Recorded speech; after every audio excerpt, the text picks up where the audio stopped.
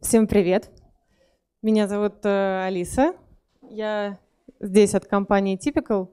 Может быть, с кем-то из вас я уже общалась, но мы тогда назывались Talent Dealers.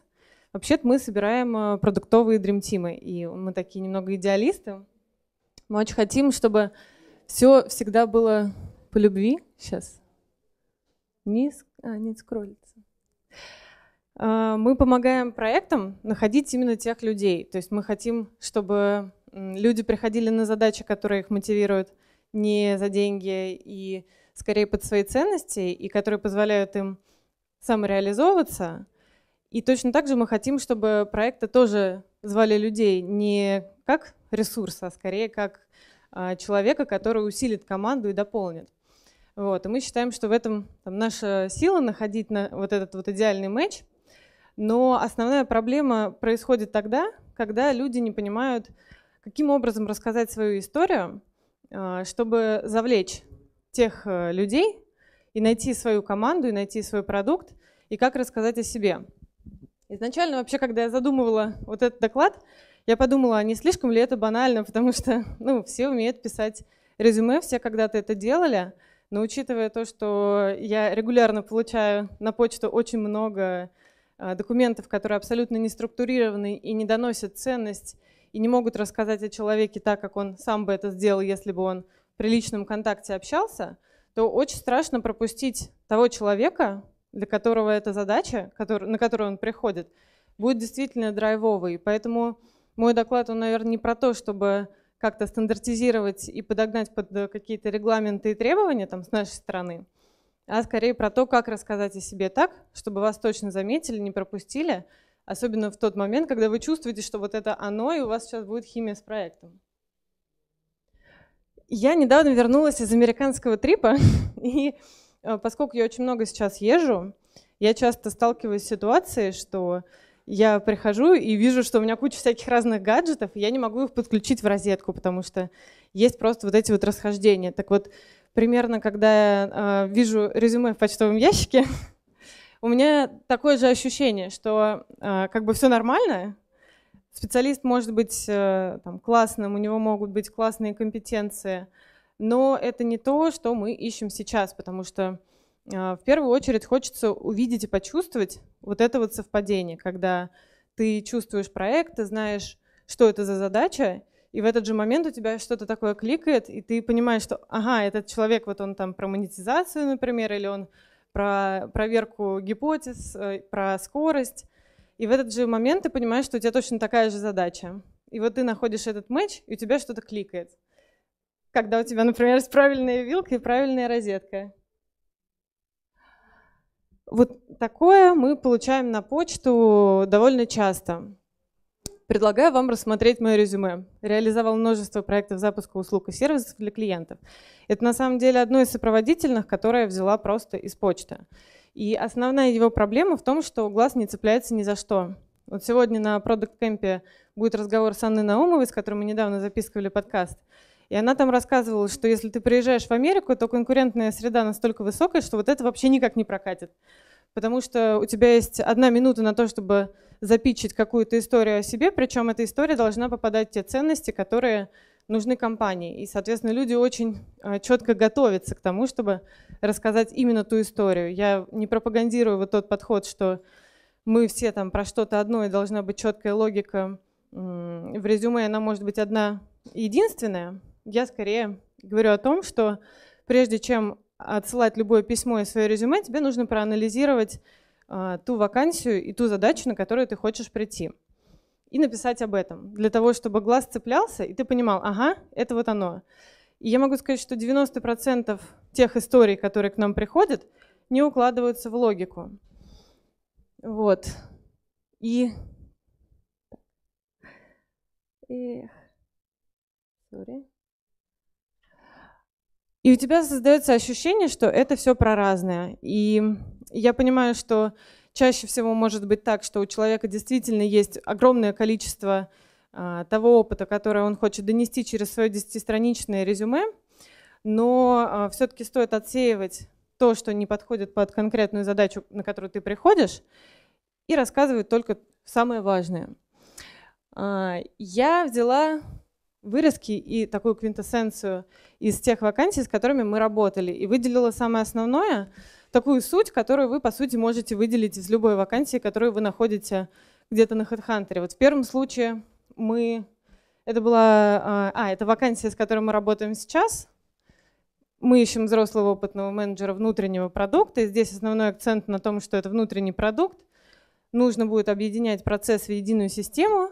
То есть там, я просто знаю, что там есть много стейкхолдеров, то, что нужно уметь э, общаться в большой корпорации и уметь взаимодействовать именно по тем стандартам. И, соответственно, когда мы будем формулировать для себя внутренний профиль вот этого кандидата, мы будем либо искать, например, человека с опытом а, менеджмента внутреннего продукта, либо какого-то B2B решения. А во втором случае мы ищем, мы вот тоже искали человека, который будет запускать направление и уметь проверять э, market fit, может как-то а, драйвить проверку гипотез, смотреть, а, все ли в порядке с текущей моделью монетизации, если что, что-то менять. И, соответственно, когда мы получаем две разные задачи, мы понимаем, что под это нужны два разных человека. Один и тот же человек может, безусловно, вмещать, совмещать и то, и другое, но при этом, если вы хотите, чтобы вас сразу же заметили, а, то стоит сделать акцент именно на тех компетенциях, которые подтверждают тот профиль, о котором идет э, речь в вакансии. Я сформулировала те внутренние критерии и стандарты, по которым мы обычно идем, когда а, получаем вакансию какую-то в работу и начинаем искать человека под нее. И хотела поделиться с вами. Но я, безусловно, хочу сказать, что это не единственные стандарты, которые там могут быть, потому что это э, то, что мы на своем опыте сформулировали для, для того, чтобы каким-то образом стандартизировать этот процесс. Мы очень не любим вот эту вот формализацию, и когда э, есть какие-то формальные требования, условные стандарты, это не последняя инстанция, но тем не менее для того, чтобы как-то понять, а что мы вообще хотим видеть в человеке, мы для себя сформулировали это вот так. Sorry. Первый пункт, о котором я хотела сказать, это логика в резюме. Если вы не заложили логику в резюме, то ее не сможет увидеть никто другой, потому что даже если она там есть, логика перехода из одного проекта в другой, логика смены э, позиций, то лучше как-то ее отразить и пояснить. Например, в первом случае, где э, мы видим, что человек из позиции джуниора вырос в синьора или из тим лида вырос в продукта через проекта, все понятно. А, если есть какая-то, какое-то интро, где человек формулирует, а кто он, например, опытный продукт-менеджер финтех, и рассказывает, что все проекты, которые он проходил, были именно в финтеке, либо он сформулирует четко свои компетенции, что он умеет работать с ботлнеками, либо развивать команду, то все понятно. Но а, если не прослеживается логика при перемещении между разными позициями, то возникают вопросы. А, очень часто нет конкретных формулировок. А это значит, что человек не рассказывает, чем он конкретно занимался, он скорее пытается отразить несколько позиций в названии должности, что он ищет и то, и другое, и третье, и готов э, заниматься и тем, и тем, потому что его опыт достаточно широк. Но если мы говорим о какой-то конкретной позиции, то возникает вопрос, а зачем он рассказывает нам все, что он делал в принципе. Вот. Если за канцеляризмами и какими-то обязанностями, должностными инструкциями не прослеживается понимание того, чем вообще человек занимался, ну, например, сформулировал кома а, сформировал команду, может превратиться в то, что за 4 месяца человек нанял 5 разработчиков э, и стал делать релизы каждые две недели, это более понятно.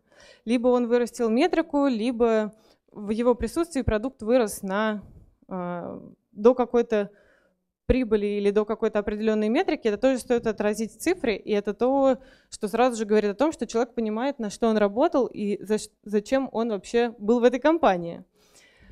Э, часто мы сталкиваемся с тем, что получаем семистраничные резюме. Если опыт составляет менее 10 лет, то, вероятно, это все можно отразить на одной или трех страницах. И еще лучше, если хочется рассказать подробнее, просто дать ссылку. А, что я имею в виду под сменами вектора движения? Если есть какие-то перерывы в карьере, либо хочется обозначить, почему произошел переход от одной сферы деятельности к другой, из одной индустрии во вторую, то лучше тоже дать пояснение.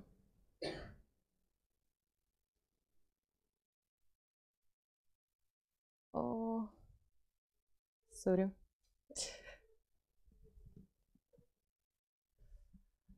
Следующий момент – это про сильные кейсы. А,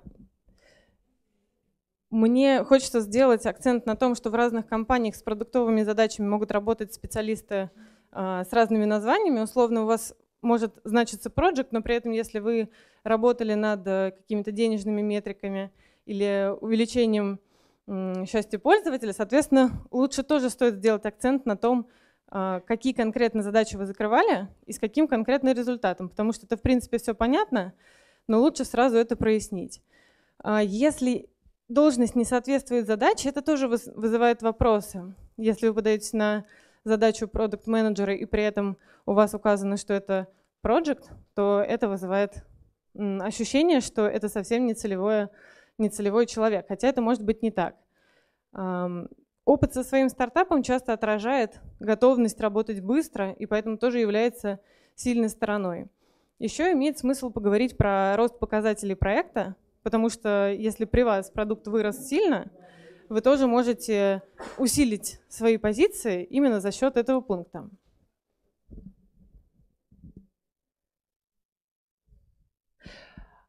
Очень интересный момент по поводу зарплатных ожиданий, потому что я бы рекомендовала их не указывать, потому что в зависимости от того, на какую задачу вы идете и чем вы будете заниматься, вы можете ожидать разное количество это мотивации.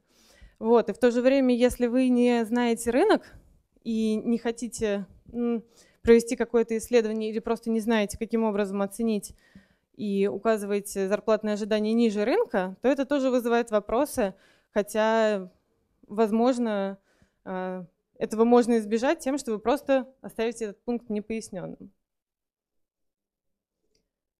По структуре очень важно, чтобы а, не было ничего лишнего, и основное позиционирование, то есть где вы описываете, что я менеджер продукта с э, проектами в финтеке и с достижениями вот этими, вот этими, и с компетенциями и сильными сторонами в каких-то конкретных вещах, то все сразу становится намного проще, и э, вы можете указать это как интро к вашему резюме, э, в котором все остальное будет прописано через структуру с буллет-поинтами и разметкой, где будет много глаголов в действии и подтверждений того, что вы делали с цифрами – и увлечения точно так же могут дополнить ваше позиционирование.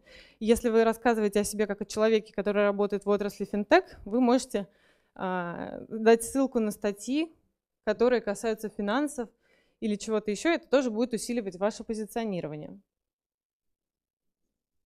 А, мне захотелось обобщить все это и а, сформулировать шесть пунктов, по которым можно а, проверить ваше резюме и посмотреть, насколько оно действительно соответствует той вакансии, на которую вы оставляете э, отклик. В первой части стоит посмотреть, есть ли понятная история развития, которая говорит о том, что вы все это время последовательно шли, чтобы оказаться на этом месте. Для того, чтобы у читающего резюме человека э, появилось ощущение, что да, действительно вы тот самый, кого стоит позвать сюда. Второй момент – это достижение цифры, конкретика и емко сформулированное CV. Третье – это пояснение с вектора, э, смены вектора движения, когда есть обоснование, почему вы перемещались из вашего маркетингового бэкграунда, например, в продукт менеджмент и а, с помощью каких инструментов вы приобретали те или иные навыки. Четвертый момент – это сильные кейсы и акценты на свои проекты или стартапы или профильное образование, потому что если у вас указаны а, какие-то образовательные проекты или курсы, которые не соответствуют тому позиционированию и не усиливают его, это тоже может быть проблемой, потому что а, возникает ощущение, что человек не понимает, зачем он это делает.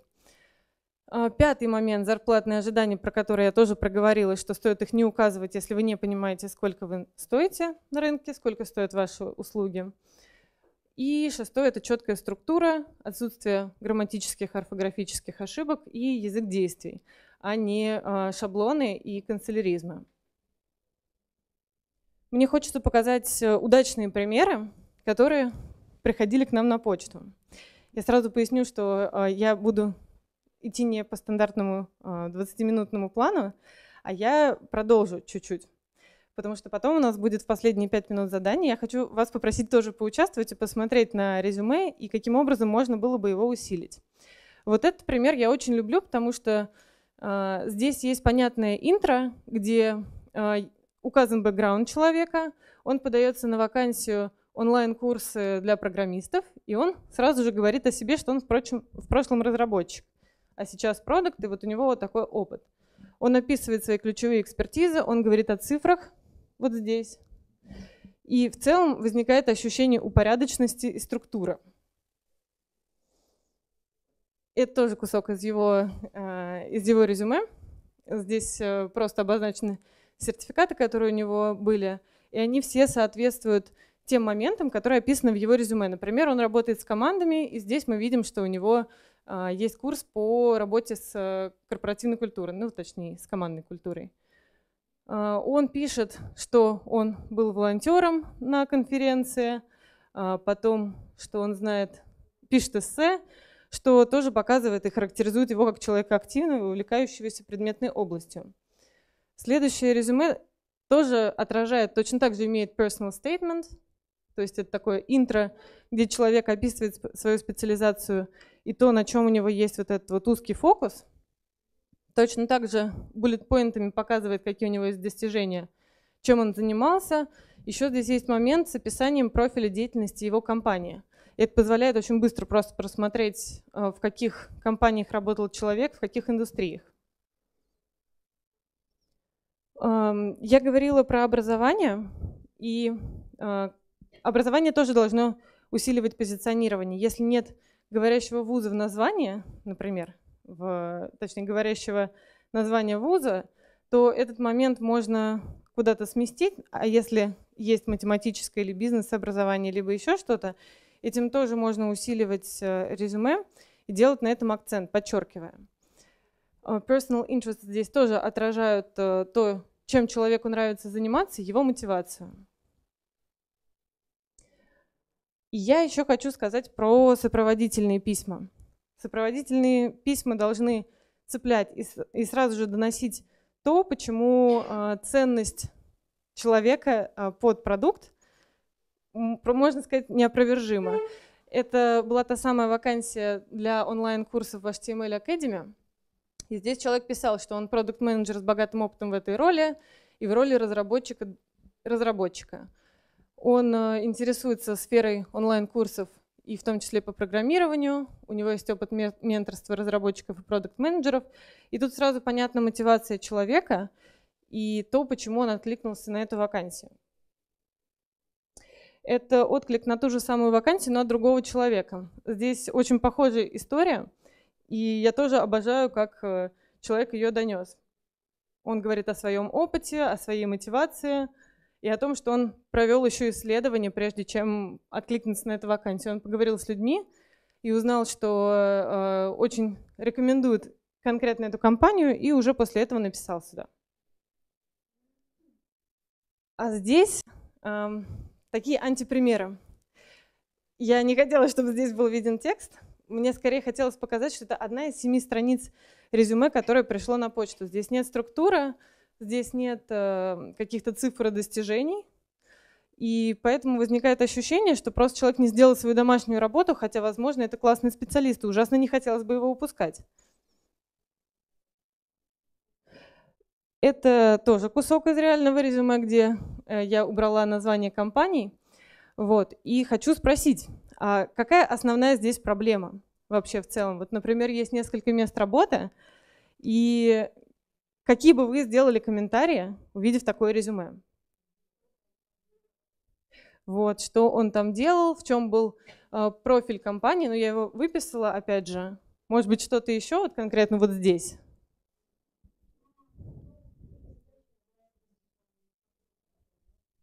Да, то есть э, нет понятного куска с, э, с закрытой задачей и с цифрами. Да. Точно так же нету интро, где понятно, почему человек переходил из одной роли в другую. И у меня возникает опять же вопрос, почему человек переходил из таких разных бизнесов, как портал агентская сеть, потом мобильный оператор, потом крупный классифайт, и возникает ощущение, что человек просто не понимает, куда ему двигаться, как ему вообще интересно. И это директор по продуктам. То есть это действительно резюме, ну, реальное резюме. А здесь э, еще есть немного другие проблемы. Вот какие вы выделили бы основные?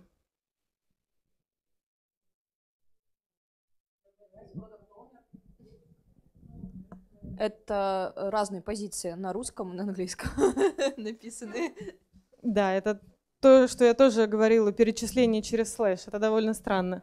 А по поводу обязанностей, вот как можно было бы переформулировать так, чтобы резюме было сильным? Ну вот, например, выявление слабых мест для дальнейшего развития. Да, нет конкретики. Можно было бы написать, что я выявил столько э, такие-такие слабые места и усилил их вот этим. И это привело к такому-то результату и показать через конкретную метрику. Определил стратегию развития. Стратегию развития чего и к чему это привело? То есть вот э, любую из этих формулировок можно усилить и сделать так, чтобы она работала на вас, на подтверждение вашего позиционирования. А, здесь э, абсолютно все то же самое. Опять же, не было никакого интро, нет понимания а в каком бизнесе работал. Ну, точнее, ладно, это был розничный бизнес, но я убрала название компании, и здесь не было пояснения, что это была за компания, в чем была основная задача, и что это была за работа с какими клиентами это была. Вот. Это все тоже такие классические проблемы. И точно так же мне хочется рассказать об общем алгоритме, который а, я сформулировала во время подготовки этого доклада, каким образом можно а, сделать свое, сформулировать свое резюме так, чтобы оно вызывало вот это ощущение четкого матча. Первый шаг – это найти вакансию, которая действительно драйвит, и сформулировать профиль. То есть на основе вот этих вот базовых а, вещей, которые описаны в вакансии, нужно понять, а какого профиля кандидата вообще хочется в этой команде видеть и потом уже идти от этого. Смотреть, какие пересечения есть э, конкретно у вас, какие кейсы доносят то, что вы тот самый человек. Третий момент – это описание позиционирования под вакансию. Это как то самое интро, о котором я рассказывала, что вы продукт менеджер с ключевой компетенцией в том-то и в том-то, и это должно подтверждать вот это ожидание по профилю кандидата. Четвертый шаг – это убрать все лишнее, и, по сути, выделить основные моменты, которые доносят, что вы можете э, представлять ценность конкретно этой компании. И э, необходимо написать сопроводительное с указанием точек пересечения. Мне кажется, что важно еще донести, почему вы идете туда, потому что я не очень верю, что можно делать свою задачу раз за разом и сохранять мотивацию. И поэтому э, очень круто, когда помимо вот этих пересечений еще указаны точки роста. Я иду к вам потому, что я хочу научиться вот этому, а вот вас я научу вот как какой-то другой вещи, потому что это ключевая вещь. И нужно перепроверить себя по всем этим пунктам, которые обсудили. И вот в этот момент возникает ощущение, что это наш кандидат, и конверсия очень сильно увеличивается, и вы переходите к интервью. Мне все равно хочется спросить, есть ли у вас вопросы. Я понимаю, что у нас осталось довольно мало времени. Если у вас есть ощущение, что у вас не получается сформулировать свою историю самостоятельно, вы можете прийти к нам, и мы поможем с этим. А, можете просто прислать свое резюме для того, чтобы перепроверить, увеличилась ли конверсия или нет. Да.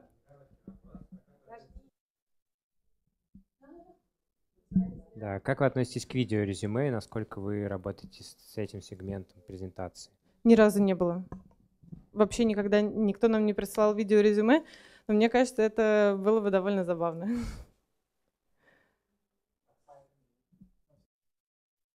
Ну, например, такое типа тильды или там, допустим, свой собственный сайт, там, на котором ты там, не знаю, сделал крутую анимацию, прям красивенько, расписал все проекты, прям все, ты офигенный. Вот. Да, да, да. Ну, тут же все зависит э, не от инструмента, через который ты доносишь ценности, а от того, доносишь ли ты ценность.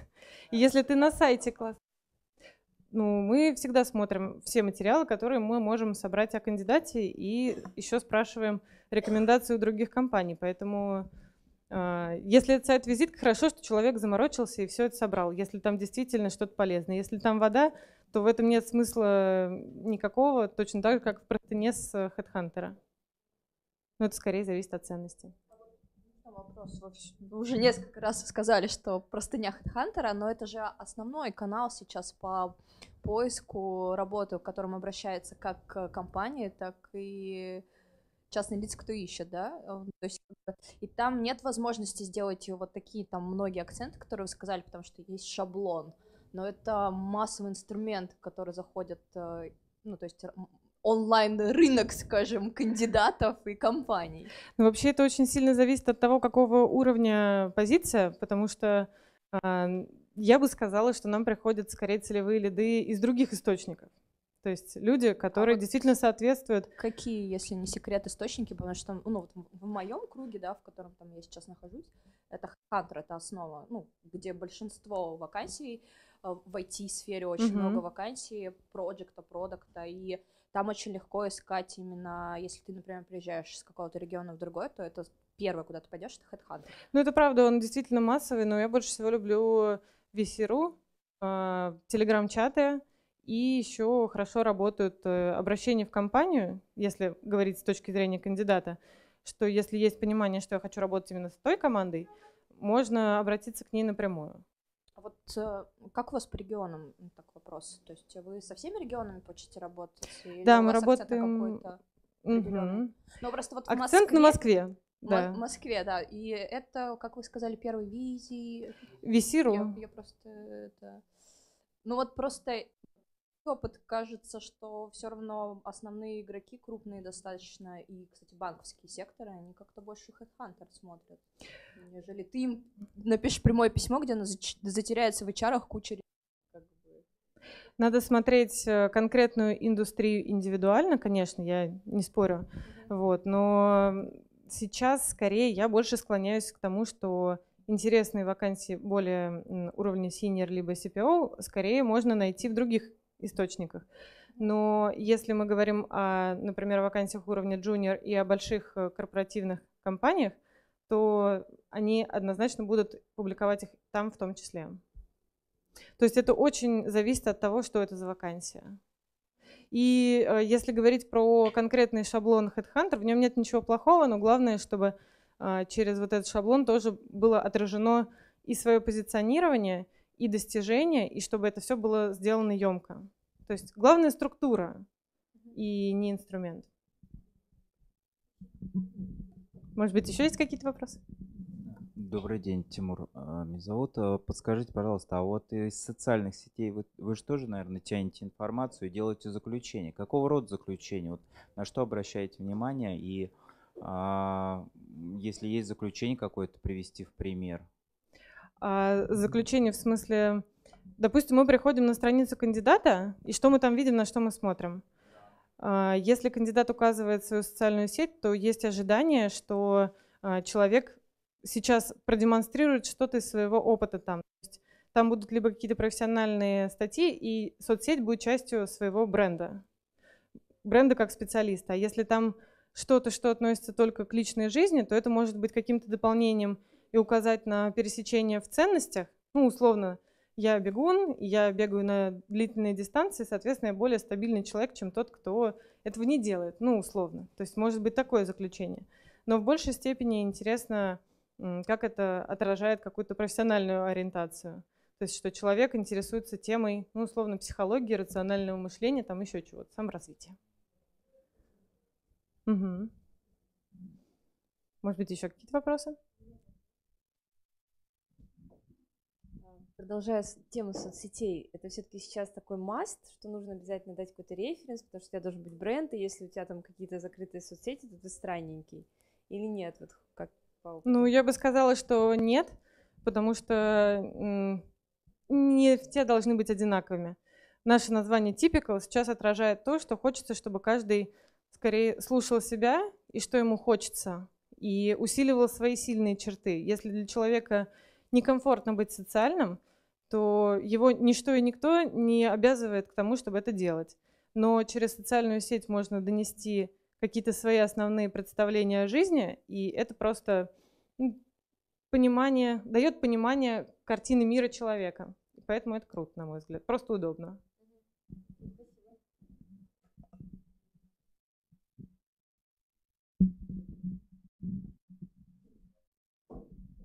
Привет. А насколько у вас Привет. популярен а, Glassdoor или LinkedIn? А Glassdoor в каком смысле? Ну, там, вы, а, там есть просто разные а, компании, которые публикуют вакансии. А, насколько оттуда приходят, а, скажем так, сотрудники? Так, или... это ресурс Glassdoor? Я не знаю, что это. А, не знаете? Окей. Нет. Тогда а что LinkedIn. это? Это, uh, Glassdoor — это международный, uh, скажем так, портал для поиска работы. То есть uh, ты можешь посмотреть угу. после презентации. Круто, я посмотрю, спасибо. Да, именно. Это, это больш, самый большой плюс. Ну, тут, э, наверное, стоит сказать, возможно, почему мы этого еще ни разу не делали, потому что мы, когда обычно берем в работу какую-то вакансию, мы очень много задаем вопросов тем, кто с нами хочет работать. И нам важно, чтобы в проекте было все хорошо, чтобы э, ожидания от кандидата соответствовали нашим представлениям о том, как человек будет и может работать. И мы часто отказываем компаниям, которые не готовы сформулировать на входе свои цели на 3-12 месяцев или не готовы снизить ожидания и нанять не пилота космолета, а реального человека, который будет замотивирован решать эту конкретную задачу. Э, а, Алиса, можно еще вопрос? Угу. Володя Яндекс Вертикали. Э, у меня двойной вопрос. С одной стороны, с точки зрения кандидатов, которые уже на высоком уровне, которые ищут топ-менеджерские позиции, то есть так называемый executive search, какие советы можно дать, то есть как они, ну, то есть они не будут на HeadHunter размещать резюме, Это скорее правда. всего. Это с одной стороны, а с другой стороны, опять же, э, с точки зрения работодателя, который тоже топ-менеджер себе ищет, каким путем правильно идти? Ну, вот это как раз э, то, с чем работаем мы, потому что у нас э, в основном вакансии уровня senior CPO, и э, на, э, здесь основная сложность со стороны работодателя возникает тогда, когда он хочет сформулировать, во-первых, кто ему нужен, профиль, и проверить, а есть ли эти компетенции. И поэтому наша особенность в том, что у нас есть фреймворк, по которому мы оцениваем hard skills и soft skills. Мы помогаем компании сформулировать, что ей нужно, а кандидату а, посмотреть, где у него есть слабые места, которые можно дотянуть, где его, в чем его сильные стороны, и дать обратную связь, самое главное, куда с этим можно пойти или как с этим можно развиться. И, соответственно, если отвечать на вопрос, э, какие рекомендации могут быть там, одной и другой стороне, это, наверное, больше и лучше формулировать, что ты хочешь как компании, кто тебе нужен. Если ты не можешь это сделать самостоятельно, соответственно, можно там прийти к нам, либо за консалтингом куда-то. К человеку, который уже такую задачу делал. То есть больше фокуса. И кандидату, если это senior CPO, и он ищет какую-то executive позицию, тоже задавать больше вопросов, собирать больше э, там, какого-то фидбэка по работе конкретно с этой командой и сформулировать для себя, что я хочу, и есть ли у меня для этого какие-то кейсы. Вот. Так, может быть, что-то еще? Ну хорошо, если вопросов нет, то вы всегда можете написать нам, прислать свое резюме на валидацию и получить обратную связь, провести свое мини-исследование. Спасибо.